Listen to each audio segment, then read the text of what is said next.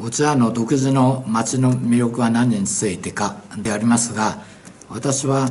やはり小千谷市の東西を分ける大きな信濃川がど真ん中に流れている。まあ河岸団地の町でありますから東も西も当然山あり坂ありでありますが雪国にとってその山あり川ありが大変必要でありまして流雪溝であるとかいろんなものがやはり雪国にとっては魅力だと思います。えー、長岡や小国やいろんなとこと比べて冬の除雪のお茶の女性は素晴らしいと言われておりますそんなことが魅力かなと思います